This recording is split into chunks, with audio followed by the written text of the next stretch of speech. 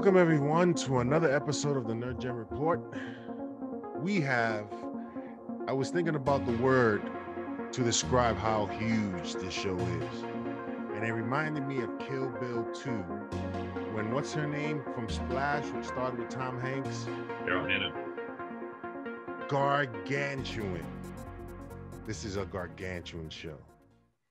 A lot of news, a whole bunch of news a lot of important news.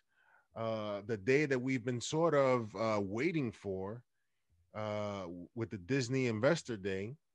We got a lot of stuff that came out of there. We're going to focus mostly on the Marvel stuff, uh, the Star Wars um, stuff, as well as the business of it, right? What does this mean? What are all these numbers, right?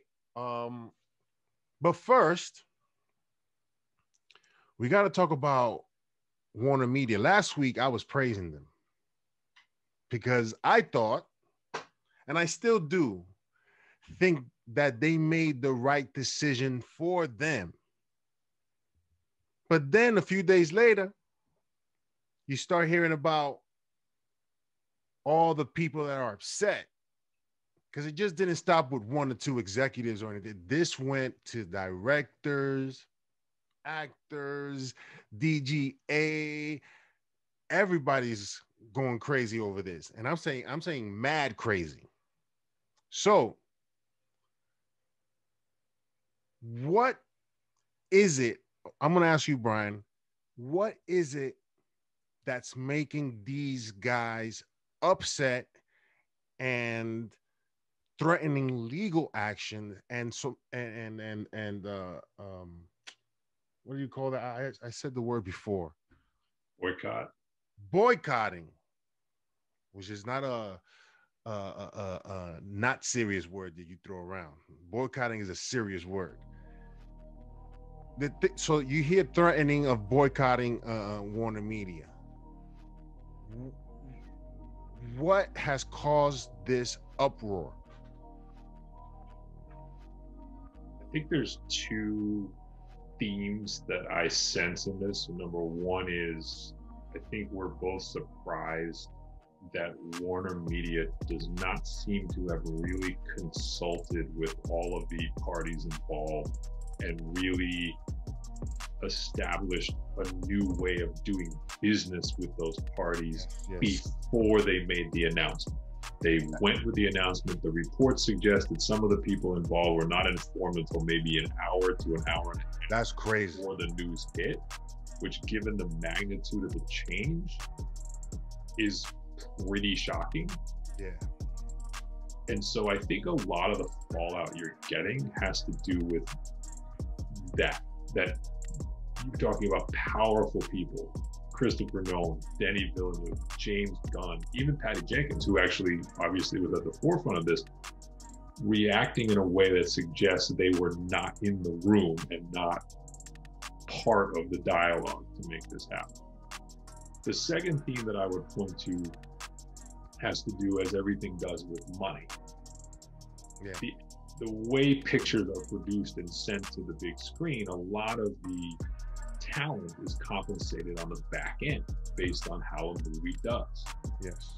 And so I think there's a very widespread concern over how everyone involved with these motion pictures is going to be paid yeah. for the work they already did. I think this is less of an issue for future films that haven't started yet. I think it's more about these 18 films that have already been done. done. Yes. And then you hear word come out that Patty Jenkins and Gal Gadot oh, were each given north of $10 million as part of Wonder Woman 84 going to HBO Max. So to me, a lot of this traces back to, well, hang on a minute, they got what? Well, what are we getting? Exactly. And how are we getting paid? So I think to not have that tied up, or at least seemingly have a framework for how to deal with that, I'm surprised. I'm surprised the studio didn't have that kind of already in hand by the time they put this out to the world. I still think although because of all this that's being said and how things went down, certainly looks like a, a move that was done out of desperation. At first, I praised them. I said, Yo, I think they're doing the right thing. I think they're making smart decisions. But when I found out this, it's like, how do you not involve the people that help you create all of this? How, how, how do you not tell them? And to, you might as well not have even told me to tell me an hour before, and listen, I'm telling you all before because this is happening, whether you like it or not. Pretty much. And I can listen, guys like Christopher Nolan, Patty Jenkins, and, and others. When you work on something like this, your whole dream is to have people sit in the theater and, and watch your movie. You, if you're a director, you dream about that. You want that to be the case but also is it, it, involves money you know a lot of it is because of the money as well they have they worked out any sort of deal that sort of compensates them after the fact after they start streaming what, what, is there a deal in place or or will they offer them a deal most likely they will if they haven't but where where does that stand? Why? look, the studio clearly knew they were going to have to pay something. Mean, and they're not going to do this knowing that it's going to be free. Um, I think that, that, as messy as this has gotten, and then the, the, the, kind of the benchmark of Wonder Woman 84, it really will give some of these top filmmakers and talent a number to kind of gear their negotiation. So, okay, if that's worth 10, then I should be getting 5, 15, 12. So what it means to the studio is very simple. It just increases the break-even point for the number of subscribers you need to make this happen because they're going to have to write checks, right? If you don't, because here's the thing you can't have happen. And I, if we're looking at what's the worst case for Warner Brothers out of all this, yeah. is when you look at the strength of the language, in particular that Nolan used and that Denis Villeneuve used. Denis Villeneuve basically said Dune Part Two may not happen because he doesn't want it that's the issue is you don't want to lose the IP yeah. from filmmakers as talented.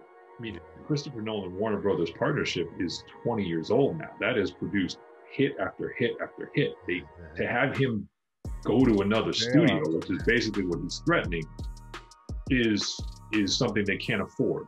So they're much better off writing big checks now to keep those guys in house, and they probably will. So one of the things from money perspective is the license fee. So this came up in the context, I believe, of I forget which of the films was on the list. It might have been Dune, actually. That Netflix was bidding 250 million or 300 million dollars to buy one of these films. Who, who stopped it? Well, Warner Media stopped it because okay. they they claimed that they had the rights to it. And so one of the concerns is that when you have Warner Media and HBO Max both being they're on both sides of the table but they're part of the same company that you're not going to have a license fee that values these films appropriately. So how do you again, how do you get people paid off that? So I think that's the other piece of this that has to get sorted out. And all I said, all comes back to Warner Brothers has to budget a film here and then come up with a number that makes everyone happy on top of that. And then they'll know how many subscribers they need to kind of break even on that. So it can be sorted out, but I am surprised at how much of it was not sorted out before this went public. Yeah, yeah. Hey, listen. Warner Media Warner Media has a lot to uh flesh out before people are happy. The only ones that I think are winning here, I think Warner Media is winning as well. Um is the the fans, right? That we're gonna see this content possibly because you never know they might renege on this this promise. If especially if vaccines have uh, an effect good enough for people to start to come back even though probably it's not going to be uh, huge opening weekends as we used to at least i don't think in the beginning right Um, so, but fans are ultimately winning. Warner Media is staying afloat, so they they they said we got to do this, or else because these guys are killing us, especially after listening to what we saw on Disney Investor Day, right? Um, Spider Man.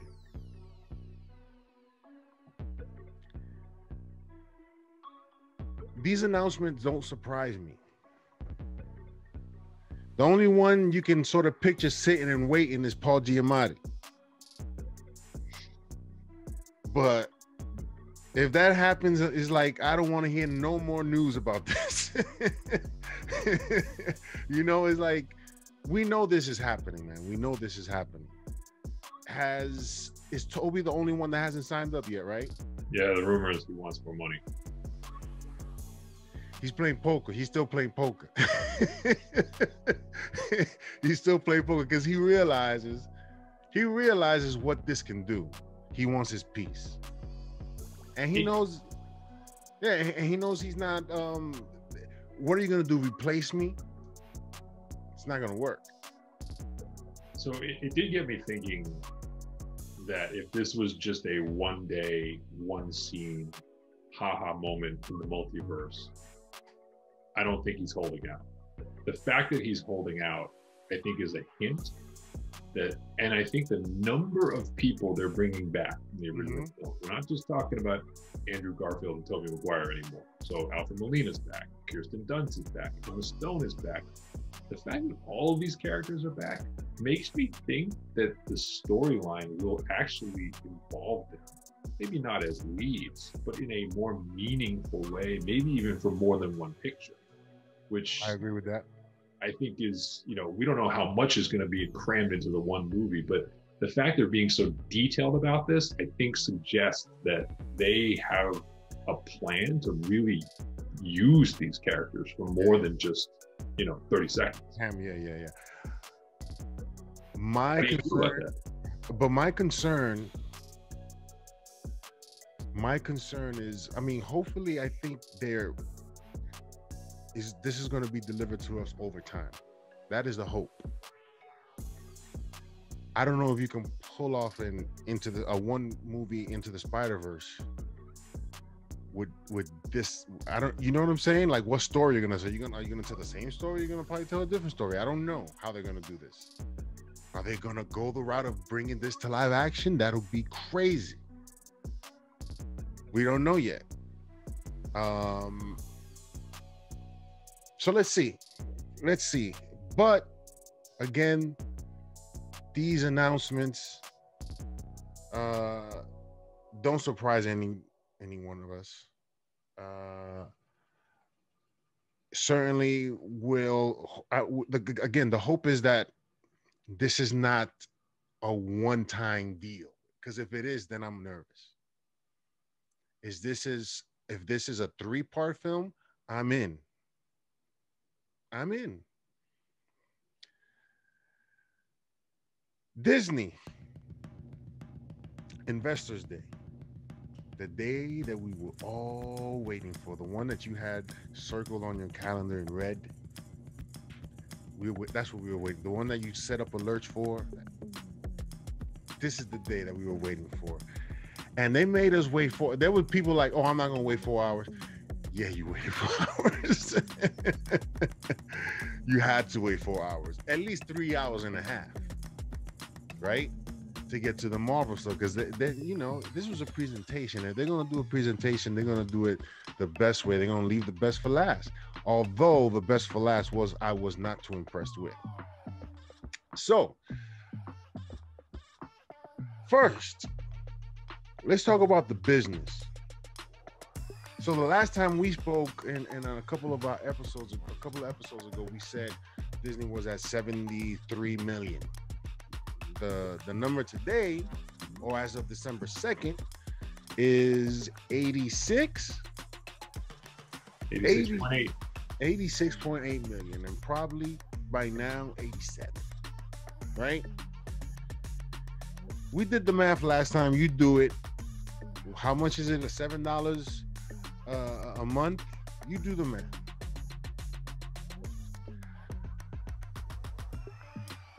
then they have their projections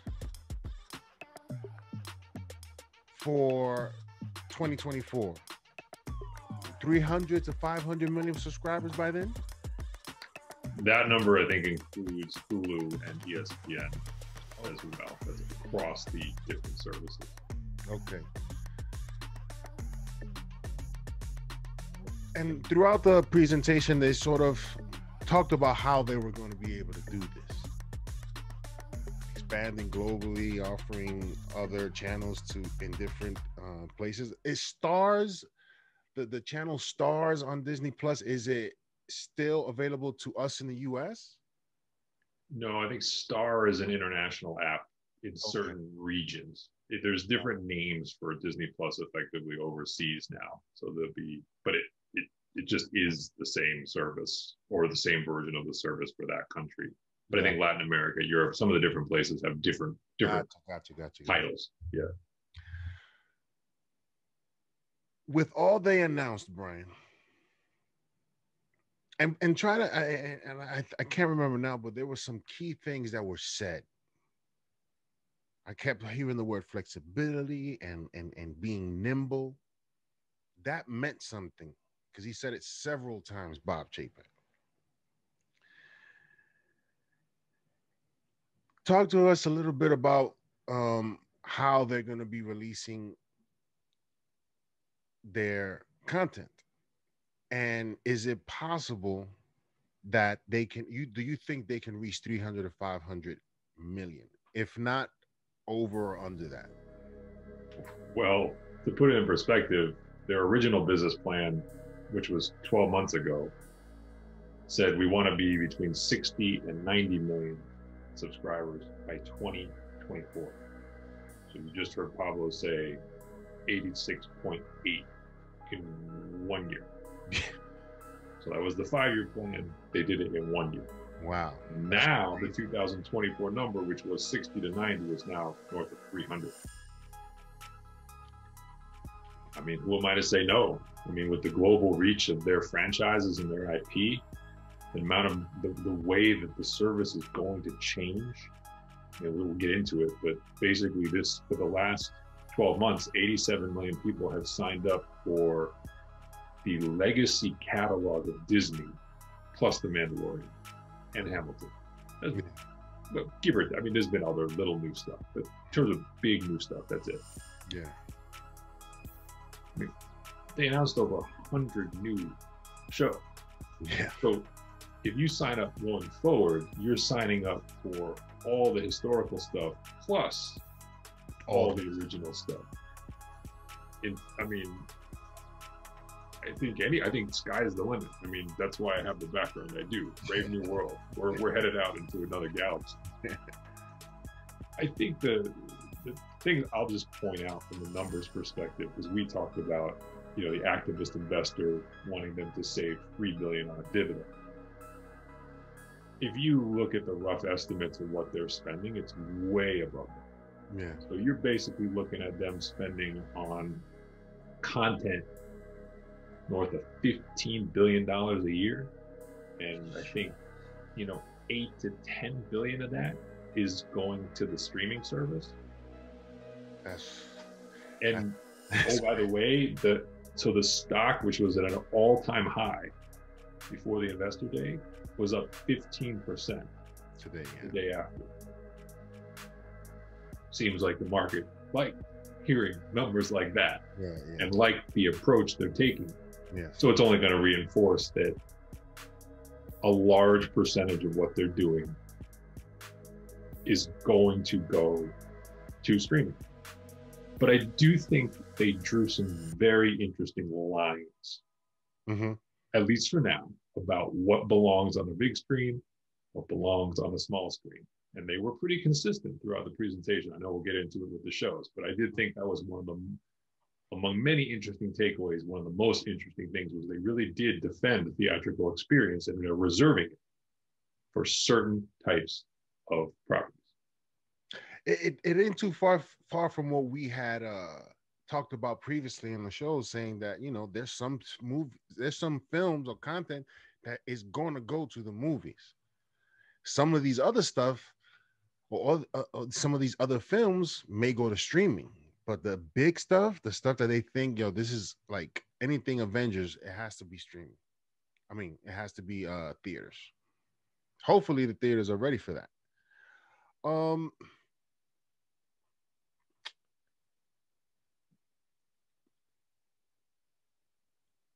how long do you think? Obviously, it's obvious because we don't hear the backlash from coming from anywhere talking about how Disney did this and they shouldn't do this and they shouldn't do that. What what's what's the difference between what Disney is doing and Warner Brothers or Warner or Warner Media?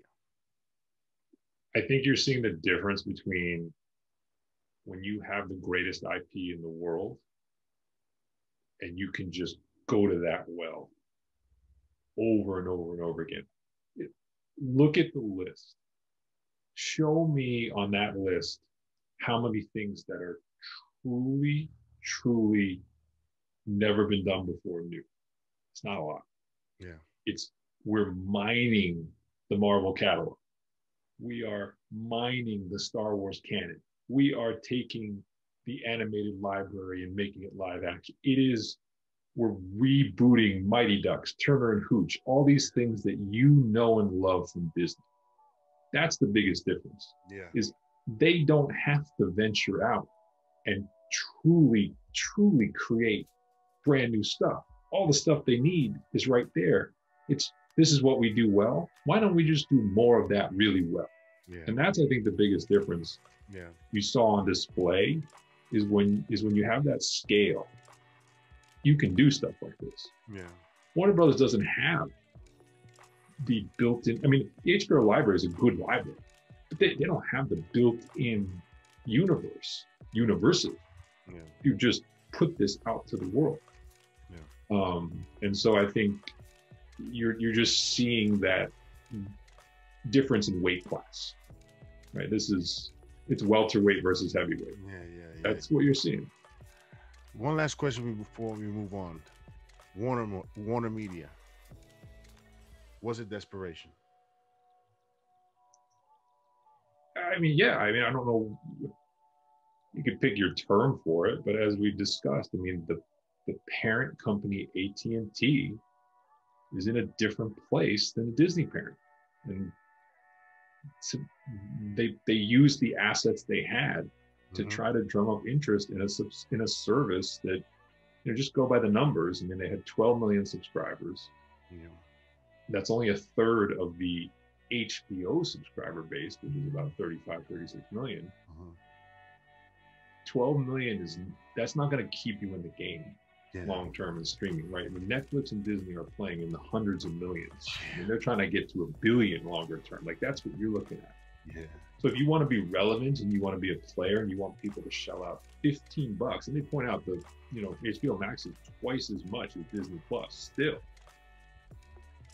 You have to give people a reason to do that. I think they did do that. I think the 18 films give you a, a must see service, especially for people like you and me and the genres that we like. But you know, they kind of they kind of emptied the gun Yeah. you know, if you look at what Disney did, Disney was like, okay, you know, let's let's let's power up the arc reactor and we'll fire something really cool. But like, there's a whole Stark Industries factory working on other stuff behind that. We're not done. Yeah. Yeah. Yeah. Yeah, and I think that's a, that's the big difference. Wow.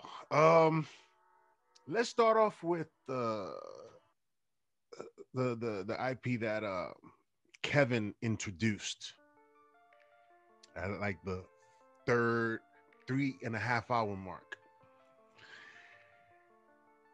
He talked a lot about he he talked a lot about um some of the stuff that is coming out. Although I was disappointed in in in, in quite a few things that you sort of would have thought you would have seen something. It was I was very disappointed in that. Um first, let's talk um WandaVision.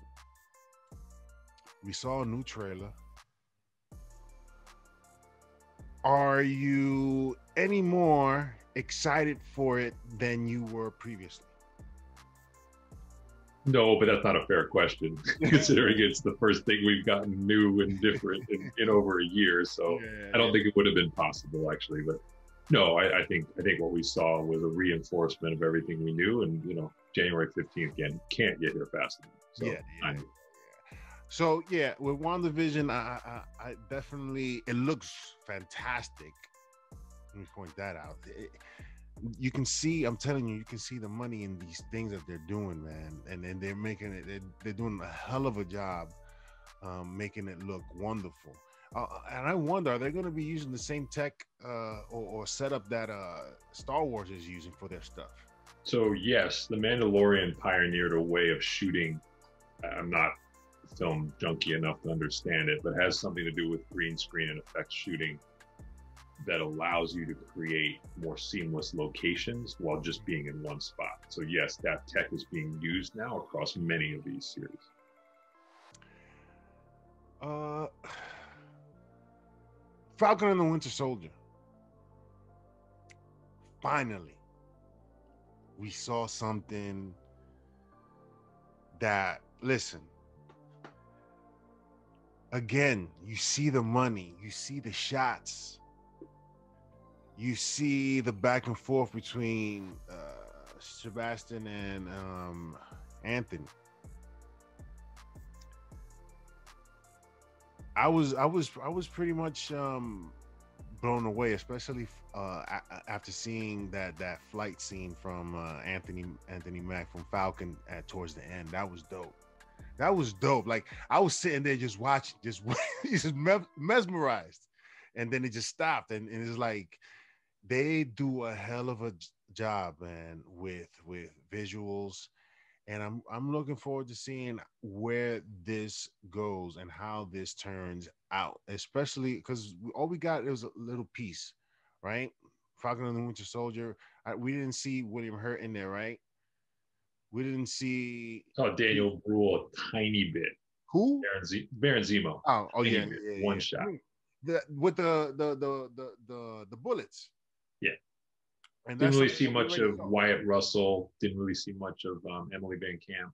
So they. So yeah, they they they they're they're keeping that on the low till we see it and just giving us the two guys that we already know and seeing how they're going to work together and how they look.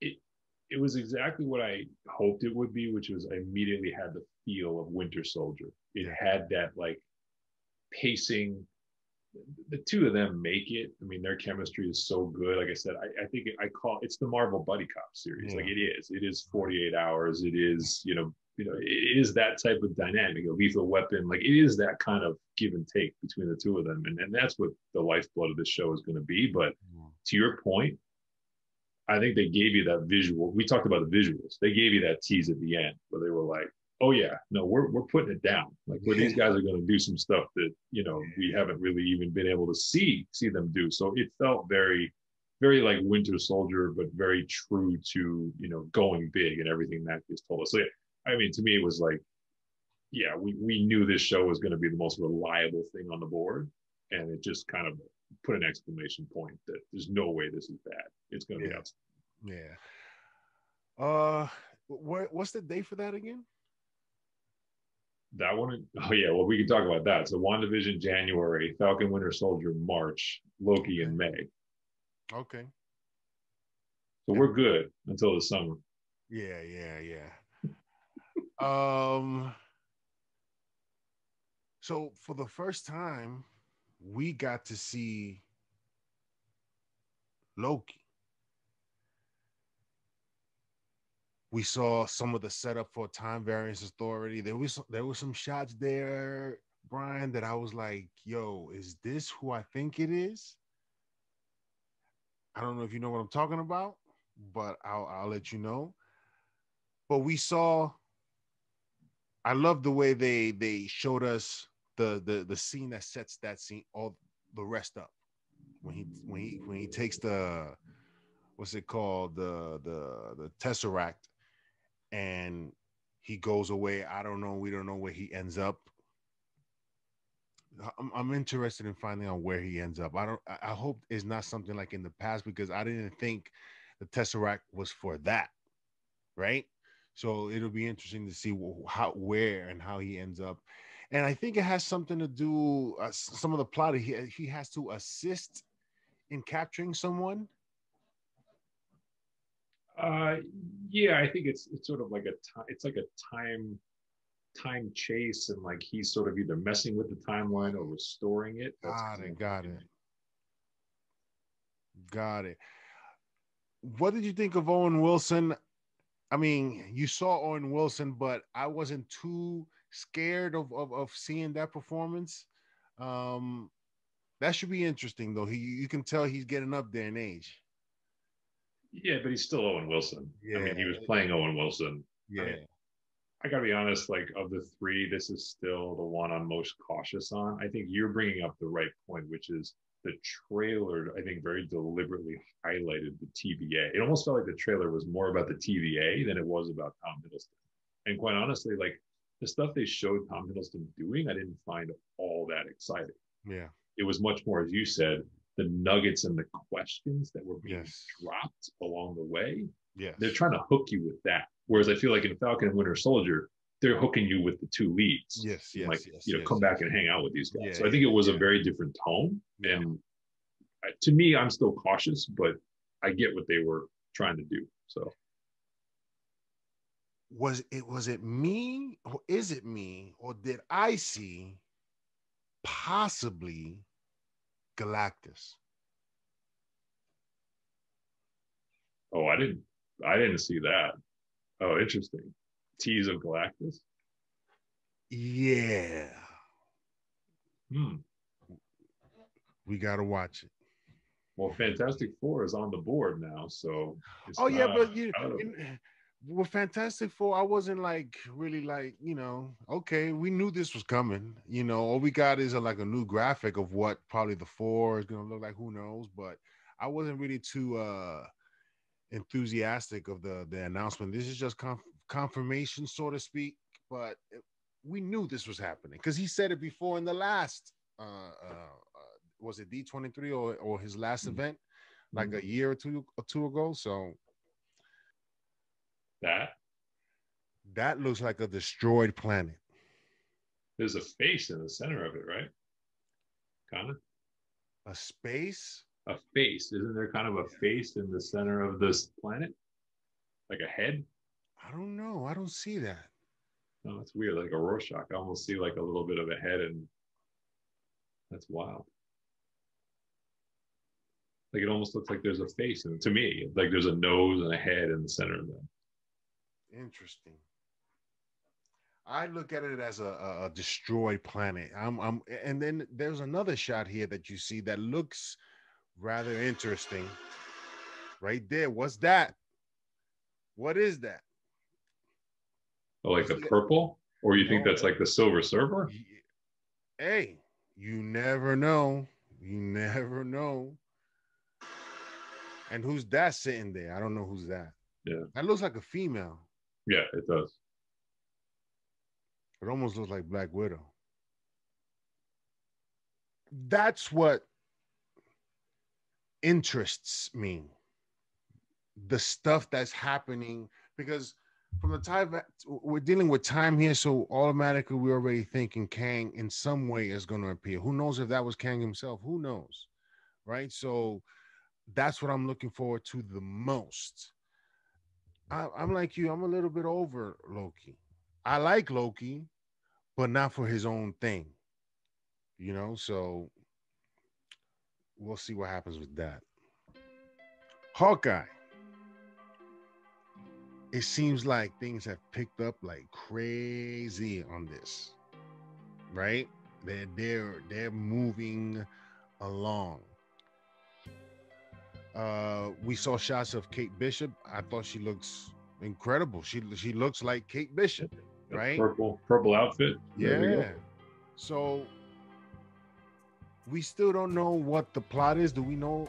Have they announced anything about the plot and what's going to happen, or, or what what may happen? No, I haven't heard nothing official. No. Yeah, yeah. So that's one of that's one of the things about Hawkeye. If it's not like if you go back to our other show and I and I explain what I would like to see from this show. If it's that, I'm interested. Would you be interested if it's something like that?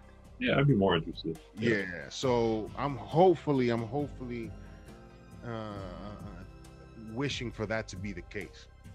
But if it's not, let's see. Let's see what happens. But right now, I'm not too interested in in, in Hawkeye. Then we got What If. It was your number one. Yeah.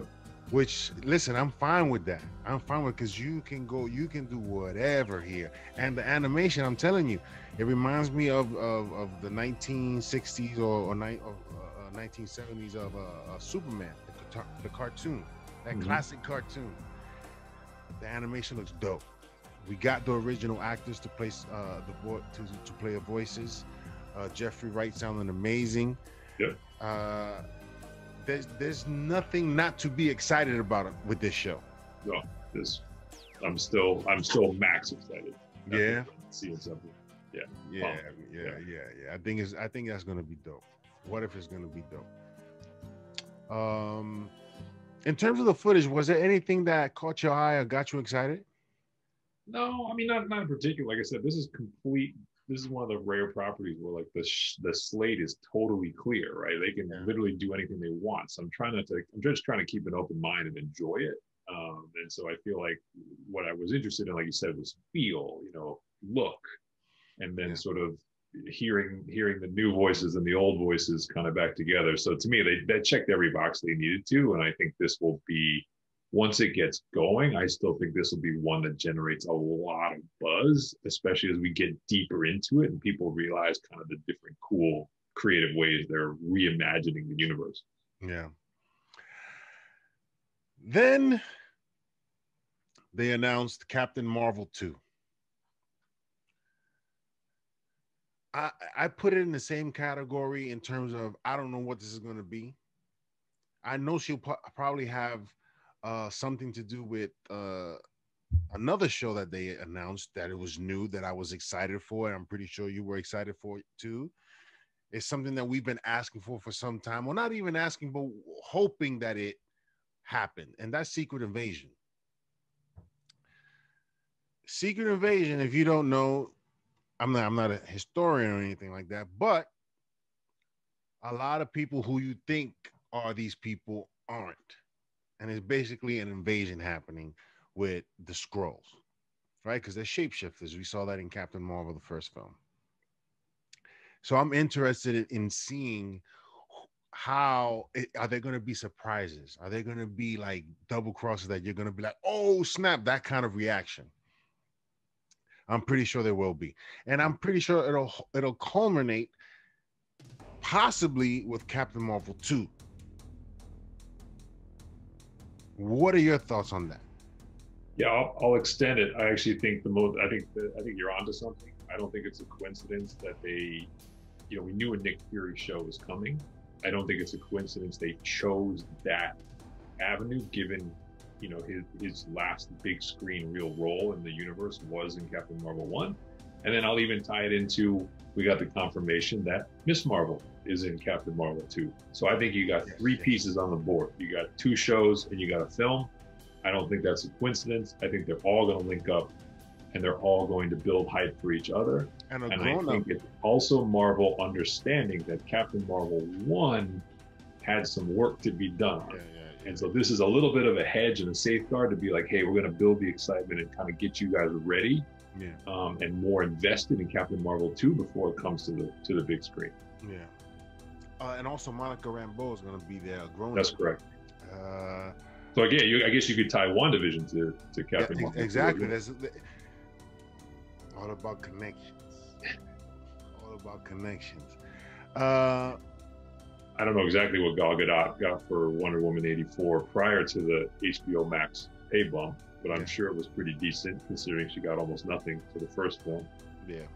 Um, I mean, hey, maybe maybe after this is done, we might have to have the uh, Wonder Woman versus Captain Marvel for the big bag in the middle. Yeah, yeah.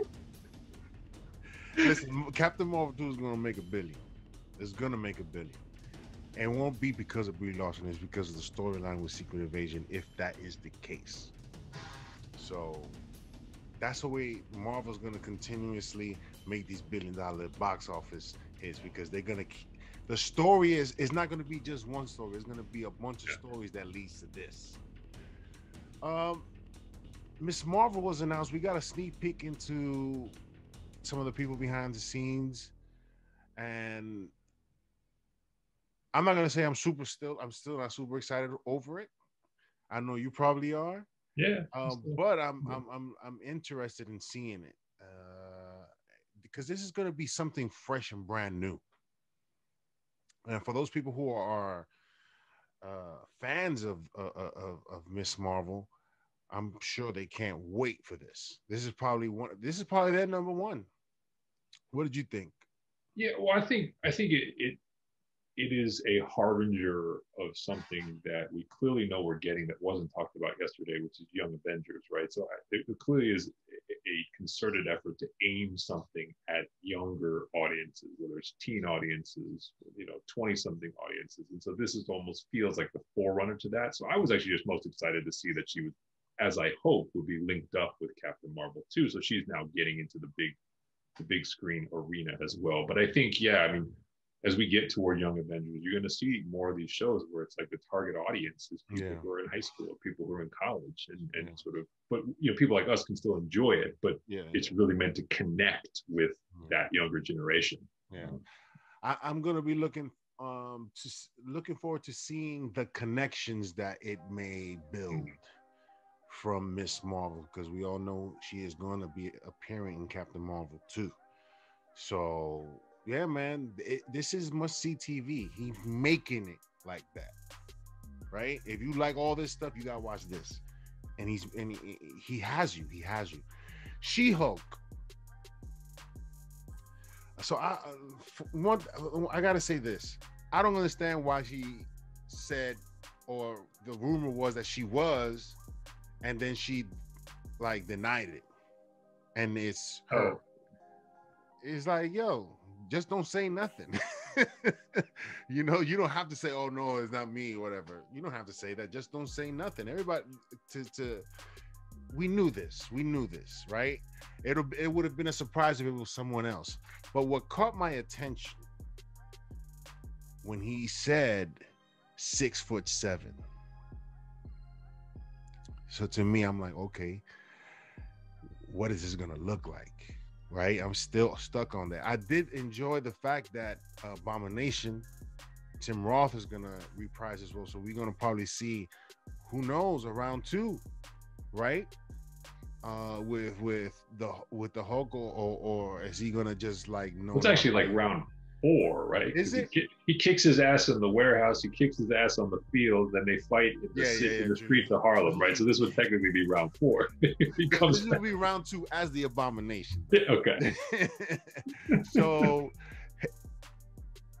I would say it's getting a little bit more interesting, but yet I, I'm still not convinced as to how well because you know the Hulk is not like a fan favorite to me for, for me anyway. He's not. Abomination, I'm looking, you know, I want to see how that what's that gonna be about. And I'm I, I want to see what this six foot seven She-Hulk is gonna look like. No, the most. Oh, oh.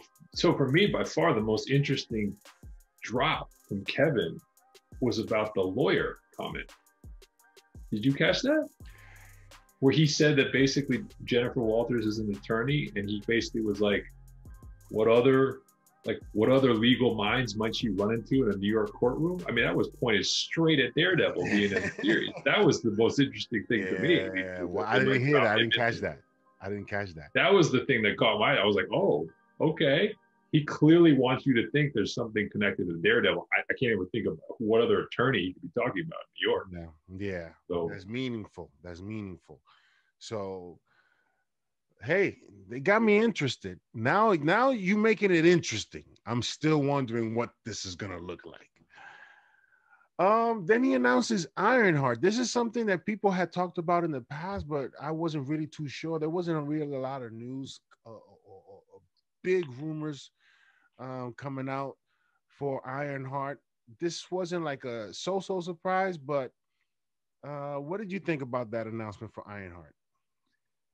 I gotta be honest, I kind of put Ironheart and Armor Wars in the same bucket for me, which is like maybe it's just a function of the the field is so crowded and I've got so many things I'm so excited about that it, I'm probably not being fair to these series, but I guess it, it it didn't make the tops of my list for like what I needed to add.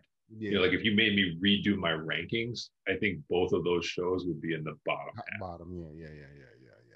I'm happy with Don Cheadle, man, and I'm happy for the girl that got this part. I mean, that's that's gonna be another. She's gonna be another superstar, right? Uh, so definitely not on the top of my list, but I, obviously we're gonna watch it, and who knows, it may be dope. But if it isn't dope, listen, I if I know something is whack after a couple of, I'm not gonna keep on watching. I don't care what it is, but I'll watch it once and let hope and maybe I'll watch it again. Um, so we got, we, I think we went through oh the movies now, Marvel films. This was the bigger yes news overall. I thought top to bottom. Let's start off with Black Panther. Yeah. And he, and, and he said something that sort of like if you've watched the show, you've heard me say plenty of times that uh they should recast the T'Challa. That Black Panther has a lot of story to be told, and they, who knows, uh, maybe temporarily sure Shuri becomes Black Panther. Who knows? But to kill him off screen, or to maybe, who knows? He's on a mission. I don't know. They, but they have to recast it T'Challa. They, they, they, they so they're saying. Did they say we're not reca- recasting T'Challa right now? Or they say they're not recasting? Oh. Well, they didn't say forever, and nothing, very few things are forever. I think it seems more clear than I would have expected that T'Challa will not be in Black Panther 2. Mm-hmm. Now, there there are rumors that he is going to be written off as a death off screen. I they, he didn't say that. Yeah. But it definitely seems like for Black Panther 2, Shuri's going to have the mantle at least you know for the for the bulk of the film, if not the whole film. Um, which I'm a little surprised. I got to be honest. I mean, given that they're basically shooting this on time and releasing it on time, that's a pretty big story shift. So I'm I'm surprised. Um, I respect the decision. I understand why they're doing it. Um, but I'm with you. I, I, I hope that we, I hope that the character lives in some form someday. You know. Um, yeah. I have I have big concerns, man, because what if hmm, it's Submariner or Doom? What's that interaction going to be like?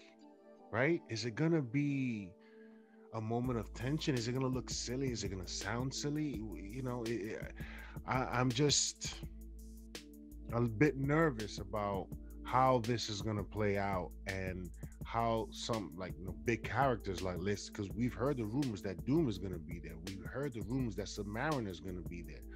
What story are they going to tell? If those guys are in it, I gotta believe you pose some some sort of threat to Doom, right? I gotta believe it, even though if you're saying you can say whatever you want, but if I don't, it's like Ralph Macchio challenging me to a fight and telling me he's gonna tear my head off. I'm gonna laugh. you know, it's not. I'm not gonna take that seriously. Is it gonna come off that way? It's that's what I'm concerned. That's what I'm concerned. Ant Man and the Wasp, Quantumania. I'm quite certain. I mean, we knew. That, I, I, believe we knew we didn't have a, a, title, but we knew that this was coming out. Mm-hmm. Um, so obviously we're going to the quantum realm again. Who knows if bits and pieces or egg or or, or um, what do they call them? Egg Easter eggs of the Fantastic Four are there, um, or Easter eggs of Kang the Conqueror, right? Um, I would assume so. Um, there have been talks about uh, the Fantastic Four being stuck in that. I don't know if you saw it, Brian. In the second film, they, when they fly away, there's some sort of in in oh yes a city, yeah, yeah. encompassing some like some, some some sort of bubble. It's supposed to be called Acropolis or something, and that's where Acropolis is the territory of Kang the Conqueror. He runs that. So let's see. I don't know what this is going to be about. Do you know what this is going to be about? No, but I mean, I think that we know that Kang is being introduced and he's got a major role in this movie. I mean, that's really the kind of the only thing that matters because I feel like everything else about this film, I think we feel safe in knowing what we're going to get, right? Whether it's Paul Rudd, Michael Douglas, Michelle Pfeiffer, um, Evangeline Lilly. I guess we're getting an older recast version of Cassie Lang, and I'm assuming that Kathryn Newton now is the Young Avenger. Like that's who we're going to get for that part. Yeah. So that was a bit of news, uh-huh. but but this is all about Kang, right? Yeah. I mean, I just feel like the Ant Man world we know pretty well at this point. So it's just yeah. about elevating that with a bigger a bigger villain and tie into something else. Um.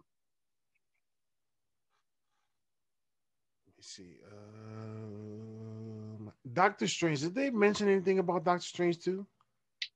Not really. No. I mean, I think yeah. I think they just tied in. I think the main thing that I took from Kevin's uh, presentation uh, concerning Doctor Strange is that it'll tie into both WandaVision and Spider Man mm-hmm. uh, uh, and, and the multiverse. We sort of knew that already. So this is not a big reveal. Just like like if, if I hear a, headline, Toby Tobey Maguire has signed on, okay, it was just a matter of time. So this news wasn't like earth shattering, but um, we knew this was happening. Similarly to Fantastic Four, we knew this was happening. I think the one thing with I think the thing I just find interesting is I think it shows when we talk about both of these, I think it shows you a little bit about who Marvel, Kevin Feige, who Disney, who do they trust in these next series, right? In the way that Robert Downey was an anchor to the universe. They trusted him. They could put him anywhere on the board and they knew something good was going to happen. Yeah. The Russo brothers, once they came on board, they trusted them. That's why they got the big assignment. That's why they got Infinity War and Endgame. So I think you are getting a little bit of a clue. Like Benedict Cumberbatch is somebody they clearly trust to guide multiple characters in multiple shows, which yeah. is why he's on the board. And that I think is interesting. I think the most interesting part of Fantastic Four when we when we connect it back to Spider-Man 3 Jon Watts is clearly somebody that Marvel thinks is a superstar director. To give him everything we're getting in Spider Man 3 to play with, and now to give him Fantastic Four, a film franchise which has struggled oh, on screen twice, yep. a big responsibility. I think it tells you a lot about the faith that Kevin and the studio have in his skills to kind of you know, bring those friends. So that I think is the most interesting thing. You're just kind of seeing, in, now that we don't have Chris Evans and mm-hmm. Downey and some of these other guys, who are they? Who are they putting in lead positions to connect us with? And that's yeah. that's interesting. Yeah. So yeah, those are the things that Kevin Feige announced. Um, the movies. Did I list the movies? Yes, I did. I missed one. That's what. Yeah, we just spoke about the movies, but we missed one. I, I was we missed a couple actually. Two that he announced, two that I expected to have a trailer for. I expected to see something. These two films are done. The Batman ain't done, and we got something. Shang Chi, when he when he when when when he showed it, I was like, oh snap! I was getting ready. I was getting hyped. And then nothing. Then Eternals. I thought for sure we're gonna see something. Nothing. Why do you think that was the case? So if I had to guess, it's because of Disney Plus, the international version of Disney Plus is not a live yet. That's my number one guess. Is I think they're waiting until some of the other countries and regions they talked about the services live. I think they might they might use it as a you know a promotional tool for that. Mm-hmm. Um, Do you think those two movies are coming out in streaming though? No, I didn't mean. I, I just meant as sort of a like almost like a cross promotional thing. It's sort of like this is a property that has a huge global appeal, and like oh by the way, like we now have available mm-hmm, mm-hmm. the studio service that is bringing you this to the big screen. Is, you know, I think there's something there that they're they're waiting on. I, you know, I also think the other thing is, you know, we didn't talk about is Disney clearly views the MCU films as sacred to movie theaters yeah. still. Yeah. So the rumors about Black Widow didn't happen. Yeah, yeah. All of these, none of these properties. There were other movie properties that were shifted to streaming or they announced for streaming. Nothing in the Marvel universe was touched. Yeah. That tells you something. Yeah. So I think the other reason you didn't get the trailers because they still don't have a certain timeline for getting these out, and they don't. You know, now I'm with you. I think you could show footage and just say coming soon. Yeah. You don't have to put a date on it. But you know, they may have other reasons and other dates in mind. You know, obviously the you know the Super Bowl is not far away. Like there's other venues where maybe they feel like that's where they want to drop. So okay. But I mean, we do have a date for Shang-Chi. We do have dates for the Eternals. At the moment, but I think what they're acknowledging is the uncertainty around the theater business for 2021. I think that's part of it. Got it. So yeah, there you have it. I mean, a lot was announced. Um, a couple of things you thought you see, you didn't see. Uh, a few surprising uh, shows that were announced. Um, some were like Secret Invasion, that's huge. But the other ones, Ironheart Armor Wars, they were like, yeah. You know, I was like, hooray for Don Cheadle. He got a show. You know, get to see some Don Cheadle.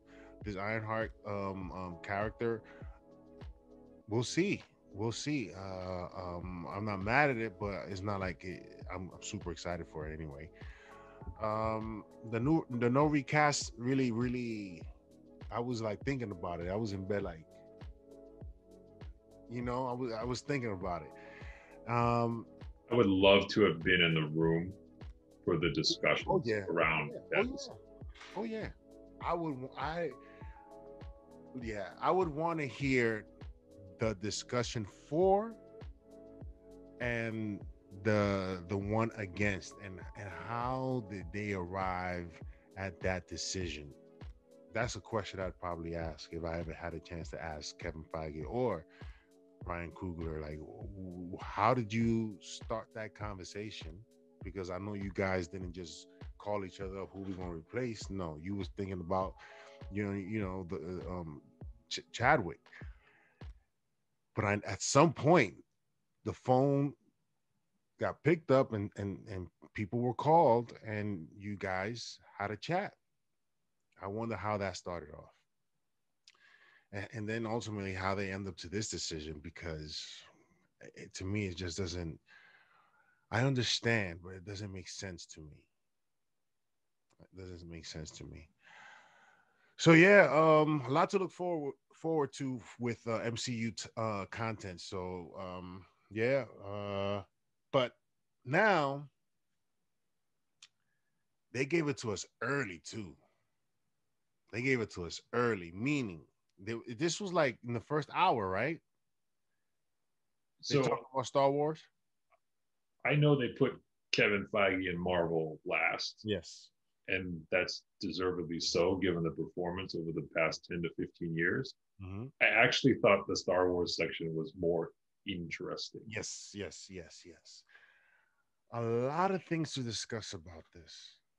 A lot of things to, a lot of things that I picked up on uh, and what they are attempting to do. So the shows for Disney Plus that they announced uh, let's start off with Rangers of the New Republic. Well, can we start with an overarching thought? Okay. Star Wars is a TV enterprise. We talked about you and I have talked about this in the Yes. past.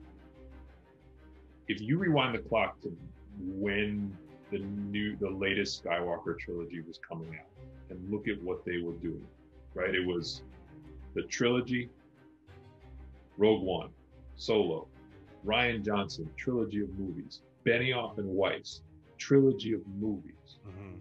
What did you get yesterday? You got how many TV shows and how many movies?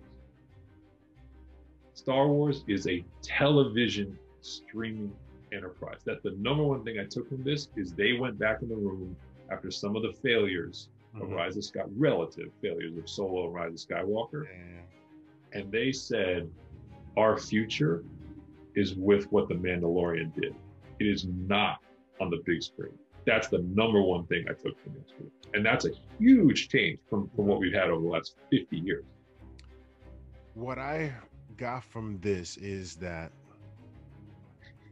and I think he mentioned it when he was doing the when she was doing the presentation, is that Ahsoka and some of these other uh, uh, stories are at some point going to come together for a, a, a, crossover event of some at some point. This reminded me of what Netflix did with the Defenders. Mhm. The last one didn't work. The Defenders didn't work, but this definitely can work Yes. because of the people you have behind it and really thinking about what it is that they're going to put out there. So far, what Mandalorian has done so far is just wowed every week, and uh, that's all you hear people talking about. They saved Especially- Star Wars. huh? They saved Star Wars. Oh yeah, they definitely, That's what they did. absolutely, absolutely. They saved Star Wars. Yep, they absolutely did. And what I think excites me the most, and a good analogy would be the success of Avatar. It wasn't necessarily the story because the story was a remake of Pocahontas, right? We we all know that. But it was the exploration, the the the escape that sort of enticed you and you were glued not not just visually but understanding how that stuff worked. With star wars there's just so many places so many places to go. So many things to see so many characters to know so far a lot of i'm not going to say all the characters are great but for the most part a lot of them are great in just the Mandalorian alone. So they're expanding this world of Star Wars, of Star Wars on on on this on the small screen, and I think it, I think it's going to be listen a hell of a year or a few years of watching these shows play out. I think so. So much. Well, for as a side note, um, when does when does the Jon Favreau monument get built? Disney headquarters, right? I mean, Iron Man and Mandalorian. Yeah. I mean, you guys literally launched or saved two most important pieces of IP Word. At the same Jon Favreau. Jon Favreau starts franchises. Oh, and by the way, he also didn't he also direct like Jungle Book and Lion King and the sort of live action remakes of the animated. So if you want to give him credit for three different, I mean, yeah, whatever. The, the guy's throwing 100 miles an hour every time he come, comes out of the bullpen. But Yeah. I think the thing that's, to your point, is really interesting to see is there's an opportunity here to really go for different tone and different feel because they're finally taking you away from Skywalker verse and kind of going into canon Yeah. places that the Clone Wars went, places Rebels went, places the video game went very successfully Yes. Yes. and will and and if you're willing to kind of do what Mandalorian did, which is like it's the heart of Star Wars, but done in a different genre. yeah. Yeah. Yeah. Now I think you're onto something. Now I think you know maybe there's a detective in here, maybe there's you know a, a political thriller, which I think one of these is. Mhm. Yeah. I, I think there's real opportunity there for a reinvention where you're really excited because it's like, oh, I'm, I'm, I'm, these are genres I've seen done well in TV before, but I can do it with lightsabers and I get yeah. to do it with, you know, planets and creatures that are, are very you know, critical to the Star Wars fan, fan base. So, you know, I thought this was a, a home run, at least in terms of idea. Yeah. They came back. So Rangers of the New Republic are going to be um, what's um who's gonna? This is this is Cara Dune, I'm assuming. And okay. Carl Weathers and Gina Carano, I'm assuming, are the headliners of this series. They didn't say that, but that's a, I'm guessing that's what, she's a ranger of the New Republic, right? That's yeah, true, true. Marshal of the New Republic. That's I'm assuming true. what this is. True. Yeah, I hope I see more Carl Weathers. I like Carl Weathers, man. Ahsoka series. I mean, I'm I'm looking forward to seeing those lightsabers in her fight and her quest to get General Thrawn. Right? That's what that's what she's after. That's what she wants to.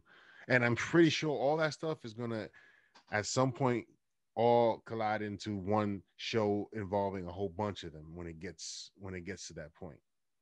So it it also makes me wonder like is Bo Katan to be in this series more than she is in in Mandalorian? Like I don't know. I will say, I'm going to jump. Bo-Katan was going to be in Rangers of the New New Republic. But to say, I, I, some of these characters that have been introduced, it's like where they're going to spin off and slot yeah. in is going to be interesting. So Ahsoka, there's only one decision they made that I have major questions about, mm-hmm. and I'm scared of, which is, and I got to say it now. I think Vader's in the wrong series. For Obi Wan Kenobi? To me, the more interesting storylines and history is if he was in the Ahsoka series, because Ahsoka Tano is Anakin Skywalker's Padawan. If you're going to bring Hayden Christensen back, as a force, how is his character not in the Ahsoka series? But as a Force Ghost? No, the canon is Ahsoka trained under Anakin Skywalker. I, I, I get and then in Clone Wars, she fights him as Darth Vader several times. But where does, in terms of timeline, where does this take place? I don't know. I'm just saying, like the, the I, to me, the, the the heart and soul, or some of the, the greatest conflicts in that series, are her having that heritage of I'm not really a Jedi. I trained under the guy who became Darth Vader. I then had to fight him several times, and I lived to tell about it. Uh-huh. I was. I have questions. I will get to it. I have questions about you know Hayden Christensen in the Kenobi series, but I was really disappointed when they said he was coming back and that he wasn't announced as part of this series. So that's one of my. If I had a complaint, it's my number one complaint is that no Vader, no Anakin in Ahsoka. At least, at least what they announced my whole thing about that is is the and what in terms of the timeline where is this taking place? Because mandalorian takes place after the fall. Vader's dead right. right? So you're right. I don't know if they're going back to that timeline when vader's alive and, and she's uh training under no you're right. No you're fair. It's fair point so, so let's see. But I, I was still excited to say yo vader lives? Vader lives I'm looking forward to seeing that. I do wonder how they're going to pull this off in the show because so th- they did confirm it's 10 years after Revenge of the Sith. Okay. So Obi-Wan ostensibly is kind of in hiding, but still doing stuff. Yeah. Vader is Vader. So this is not Hayden Christensen as Anakin. This is Vader. But if we believe Star Wars A New Hope, they never crossed paths again until they met on the Death Star. True. So how does this show keep well, them yeah. apart the entire time? Yeah. And have Vader not know where he is? That's the only question I have. Is like, probably, it, I mean, is it a good? Is it possible that Ahsoka fights him in in in that era? Well, okay, so now, well, if there if there's these crossovers they're waiting to tease us with, okay, that's a that's a whole different you know level of of interest. But I just when I heard it, I was kind of like, oh, that's exciting. But then I started to think about the story, and I said, this is going to be tricky. Yeah, really yeah. It, it, it is an interesting uh dilemma uh, on how they they they're gonna pull that off. Because I, I when I think back, the I, there's a part in the New Hope where where Darth Vader says, "I haven't felt this presence since." I don't know how long, but it's been a minute. It seems a long time. Exactly. So uh, let's see how they pull that off. But I'm excited to see Vader and how they're gonna pull off the ruthlessness that he was and the no BS type individual that he was. It's like you fail me, you die. you know, I'm I'm I'm one and, and he was powerful. He was he was the guy. So you want to see that on, on, on screen. Uh Lando was announced, and this is something that's been rumored for quite some time, if I'm not mistaken. And Donald Glover, I didn't say it was him, but I'm assuming it's him, um, who has said he wants to play this character again. I would be upset if this is Harlem in in in in Star Wars. Don't do that. Don't make it a, a hey, you know, don't don't you know, let's make it Star Wars. Let, let, it be Star Wars. I just hope they keep the Star Wars edge and not trying to make something. I mean, because some of these characters they do talk like people where we would probably talk to, right? But I don't know. It's just a certain way they they they talk that that because he was dope in, in in Solo. He was good. Mm-hmm. Um, um, um, what's his name? Don Glover. Donald Glover, yeah. yeah. So let's see what this Lando is going to be about. Um, the High Republic. This is set how many years before Skywalker's? It's well, High Republic is like way back. That's like height of the Republic. That's like height of the sort of pre-Empire. Um, that, so my like if I had a wish list for this, would be it's basically House of Cards in the Star Wars universe. Got it. That's kind of like if I had to simplify it. it now, I did say it's very female centric, but it seems to lend itself to a political mm-hmm. you know, oriented type of show, which I think is interesting. So yeah. And, and the showrunner, like I said, did Russian Dolls, so that's actually also interesting. Like it's a quality okay. quality announcement. Okay. Uh, yeah, I mean, I'm it could listen visually it could look dope because some of the high republic stuff that i've seen mm-hmm. visually it looks amazing right? Even in cartoons so to bring it to life that's gonna be that's gonna be something to watch. Uh who knows it, it turns into some sort of like game of thrones type situation right? It, it, they can go anywhere with this and, and and it's gonna look amazing. Some of the animation the bad batch look pretty dope. Well, but the animated universe has been in good shape for a while.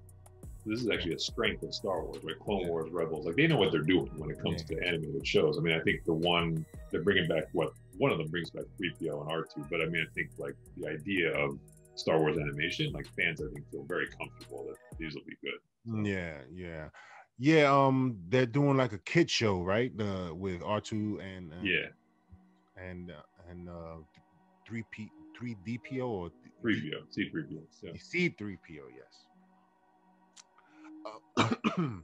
I'm looking. Uh, uh I'm interested in seeing Visions and, and uh, the the Visions anthology. Mm-hmm. Uh, I guess it's sort of some just different interpretations of the Star Wars universe, right?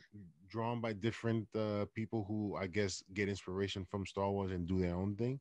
Mm-hmm. That'll be interesting to see so if I um, go back to genre for a second, just if I had mm-hmm. to guess, we don't know anything yet about these shows, but just the titles and who we think's involved. So I mentioned like High Republic seems like a political thriller, maybe. You've got a couple of let's call it like rogue. You have like a rogue show, kind of in, in Lando, right? Sort of like a guy who plays both sides. That's sort of a, yeah, yeah. a well-known TV type trope. You have kind of basically what I think is a couple of almost like samurai type series with Ahsoka and Obi Wan. Yes, yes, yes, You kind of have a military one with the. We didn't talk about the Cassian Andor series, yes, yes, which is under production, right but like now, that's yeah. a you know, given what we saw in Rogue One, that's is that going to be like a spy thing? Like spy slash war, like military. That's what that feels like to me, like secret agent military, like gritty. And then, quite honestly, like without knowing any better, Rangers of the New Republic sounds to me like a Star Wars cop show. That kind of like if she's a marshal of the New Republic and Carl Weathers is helping, it's almost like she's a you know that's a little bit what that feels like. So that's what I mean by they, they have chances, I think, to really go into really fun genres just using Star Wars universe and Star Wars characters. Anyway, that's just best guess, just looking at what they announced. But, Yeah. Um. So this is set. Andor is set obviously before World One because he he he, Yeah. he dies. Uh, how many years before? Do you know? did they say? I don't know if we. I don't know if we said, but yeah, so I, I mean, that one I'm not crazy excited about. Um, I, I I just don't know enough about it to. But he was dope in Rogue One. So Yeah. and he's a and he's a great actor. He's a Yep. great actor. He he's been in uh Narcos. Show Narcos. Yeah, he was he was dope. He was dope. He was dope. Um, did we miss anything from uh Star Wars shows? Uh, uh we haven't gotten into the movies just yet. Oh well, Mandalorian season three confirmed for next December. of I mean, course. The mainstay. Yeah, of course. You gotta do Mando, man. You- For, this is gonna make so much money off of Mando. It's not even funny, yo. The stuff that's gonna, the toys that are gonna come out of that show. Um, Rogue Squadron is gonna be directed by Patty Jenkins. I don't know too much about this. What do you know about this? So I actually thought this was one of those. Why didn't we think of this years ago? Because so I don't know exactly what story they're gonna, you know, derive for this, but the idea of I mean, one of the most successful things that Lucasfilm or Lucas Arts has done is the old series of video games, kind of X-wing, Tie Fighter. Like they were some of the best flying kind of space fighting games, dog fighting games that were ever made, you know, for their time. And to me, like this is an opportunity to basically do that on a big screen. Yeah. So if you're going to basically make almost like a, I mean, I don't want to use Top Gun's not the right analogy. It really is more like aerial combat, but just in space. Yeah. I mean, take my money. And Patty Jenkins directing it is, you know, I think we know we're in pretty good hands from a blockbuster. And she standpoint. gonna have money this time. and she's not gonna have. I don't think she's gonna. I don't, you know, all due respect to Marvel, I don't think she's gonna have them in her hair about how she wants to Do make it. this movie. So um, I thought this was actually a pretty exciting announcement, and I think it's interesting that they really kind of saved this for the theater.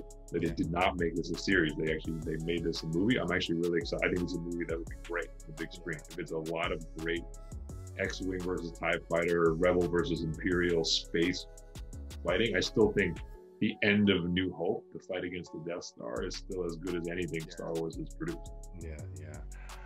Um, then they announced the project that uh Taika Waititi is directing. Um, they didn't name the project, they didn't give us a release date. They're just saying that he's doing one. It was kind of weird, right? Like Yeah. like we've known he was doing one for a while. They didn't even give you anything new. I think it was almost like a more, in a weird way, I felt like it was an announcement meant to kind of let you know that the like Rian Johnson trilogy is not happening because it's like they didn't announce anything about that, but they let you know this one is happening. So it's almost like they knew the rumor mill and they're like, all right, let, let's just clear clarify for you guys what movies are actually on the board. There's only two. yeah, yeah, yeah. So who knows? I'm gonna ask you this one question. I think before we wrap up, because we we went through everything, right? There's not anything uh anything else that we have to talk to, right? Oh man, I don't know. Yeah, I, I hope. I mean, yeah. I mean, well, obviously Disney as a whole had a lot of other content in other other areas. Oh areas. yeah, oh yeah, oh yeah, oh yeah. insane. But You know what I found um uh interesting outside of the Disney uh plus um uh shows and and and movies and things of that nature. Um I don't think we I think we talked about it previously, but just for confirmation. I don't think Charlie Cox has been Charlie Cox has been confirmed as of yet no, but we're pretty certain that he's he he's locked in. I mean, supposed seemingly in multiple places. Exactly. Kevin is not going to drive himself crazy, man. He's not going to drive himself crazy finding somebody else. God forbid he fails. Everybody's going to be asking Kevin like, "Yo, why did you do it?" You think he wants to answer questions on why he chose someone else when the guy is very capable of continuing the the, the, the character, a character that everyone loved him in? It doesn't make any sense to go eh, to do anything else. So it's just a matter of time before we get a confirmation. The closer I get, I, I think uh, Spider-Man gets done to completion. He may, you know, we may get some set leaks. Who knows? But um, that's happening. That's happening. Whether it happens, whether it happens for anyone else, that's yet to come. But I hope Vincent and and the Punisher, uh, Jon Bernthal gets get get those roles back. But I wanted to ask you one question. What do you think happens with those trilogies, the last trilogies that we got? Do we get do, do you think we get a do-over? Do you think we stay in the past for some time? or do you think we'll move forward with a new set of trilogy, a new set of circumstances with the Jedi? Because I think the Mandalorian, a lot of this stuff is going to set up um, the possible movies for, uh, eh, for for the inclusion of the Jedi. I think the bar is pretty high for them to go back to the Star to the Skywalker family saga again if you're talking about you're talking about remaking Force Awakens through Last Skywalker, uh, Rise of Skywalker. I'm talking about yeah, like using using Lucas's template basically, which would be the the alternative. Possibly Reca- recasting and doing the. I, I think that's a long way off. I, I think, if at all, like I said, I think yesterday the message really was you know, we have discovered a new way to channel Star Wars, and it's through streaming, and it's through television, and it's through series, limited series. It's not through trilogies of movies. Like I thought it was also interesting that you know, a Rogue Squadron is the kind of thing that you could probably do multiple movies of, but they didn't announce it as that. Yeah. Remember when they when they hired Rian Johnson, it was he is going to make a trilogy of Star Wars movies. Benioff and Weiss were going to make a trilogy of Star. They, they're not pre-committing to any of that anymore. So I, I hope not. I hope you know. I think you and I, they need to get away from the shackles, and I call them shackles because as as great a legacy as it is, it, it, it, was clear by the end of Rise of Skywalker, it had become a constraint. Like they felt like they were trying to service all these things to fans who had grown up with these movies. They need to find new ground. So I really hope that what we got yesterday is, is an indication that they're finally willing to kind of explore that new ground. But I I just feel that the people that had their hands that had the opportunity to do a trilogy didn't quite understand or didn't really know how to tell this story. For me, the possibilities of a do over are not quite happening now. I think it may happen later if more and more people talk about that possibility. I think if you would ask quite a few people if would you mind a do over? That's a question for you guys. Would you mind a do over of the of the trilogy? Would you mind them them probably uh, possibly adapting um, George Lucas's uh, vision and, and then perhaps moving forward from that? Because I want to see what happens after that, or um because you you get people drawing um Sebastian Stan as Luke Skywalker. Obviously, in the past as a younger um, Luke Skywalker. I wouldn't mind seeing something like that. Right? It's still we're still in the past, but in terms of moving forward, you know, I, I think you got to get past that. Obviously, listen, they have a bunch of shows that can go on, and we don't have to even reach that. But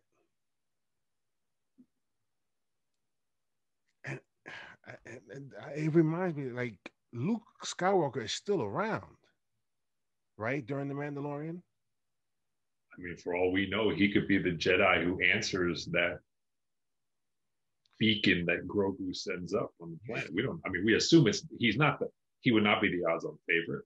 I Yeah. think Ezra Ezra Bridger, I think his name would be the Yeah. favorite, but like Yeah. technically, it's possible. I mean, Luke Yeah. is out there, Yeah. Yeah. Leia is out there. Yeah. I'll just point out to you, you on this discussion, time heals all wounds. You know, we we sit here and fans and audience, we're celebrating the return of Hayden Christensen as Vader. Mhm. So think about that. Hayden Christensen as Vader 17, 18 years ago was viewed as one of the weakest points of that trilogy, of the prequels. Although he was dope in the third one. But I think had an announcement like that been made in 2006, the response would have been negative. I Yeah. Yeah. Yeah. Yeah. yeah.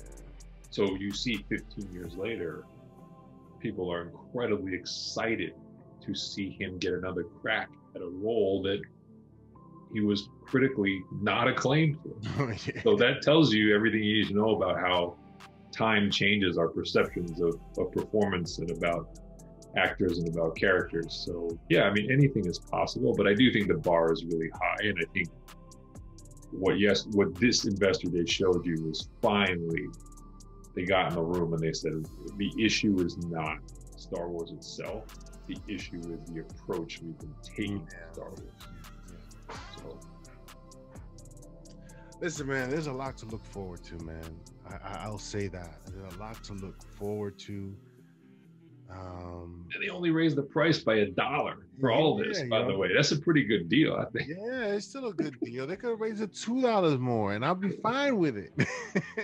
and they will at some point, uh, because they're gonna be offering a lot, and these things, you know, if they want to go crazy, they're gonna have to raise the prices, yo, because it's not like you're not going to pay, right? Especially if they're offering all of this.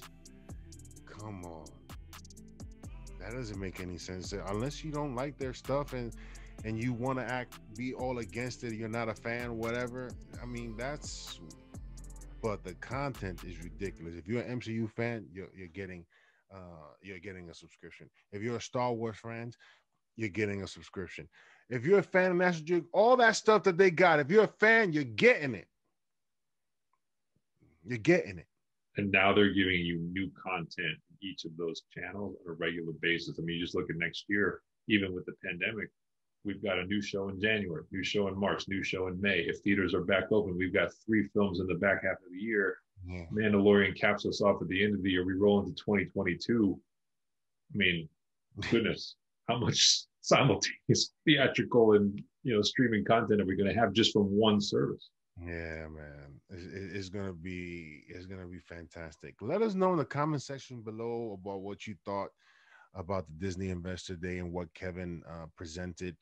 Um, I'm sure you guys are excited for a lot of the titles that he he presented. I wasn't. I'm excited for Shang Chi. I'm excited for the Eternals, but I was upset that he didn't show anything. Um, tell us what you think about Black Panther 2. Should have he should they recast? Obviously, they're not doing it now. So, what kind of story are we gonna get? Let us know in the comment section below. Um, Star Wars, a whole bunch of Star Wars stuff, man. I wasn't expecting that. I was expecting Obi Wan and Ahsoka. Uh, I did hear about Andor, but the rest of the stuff I did not uh, expect it, and, and I'm and I'm quite excited for it. I'm pretty sure you guys are too. Which shows are you guys looking forward to? Let us know in the comment section below. Uh, Brian, any last words? I think Disney had the last word. So now it's you know you know I think about our show though now that, that now the really fun thing is we're two weeks away from pivoting into our reaction to new content. Yeah, I mean right now we have the Mandalorian obviously, but Wonder Woman eighty four and WandaVision are are a month away. They're Yeah. two weeks and a month away. That's That's awesome. be- I'm really excited for that. Yes, yes, yes. Me too. Me too. Uh, thank you for joining us once again on the Nerd Gen Report. Um, hopefully you guys have some understanding about what's going on with some of these titles, where we think, um, uh, what we think about these shows. Uh, let us know in the comment section below. Um, and just keep following us every week, man. Hit that like, like and subscribe, notification bell, and share it with your friends. And join us in the discussion because there's there's a lot. There's always a lot to talk about. We could talk about this stuff for hours, but let's keep it going in the comment section. Um, on behalf of me and Brian, thank you for joining us, and we'll see you next time.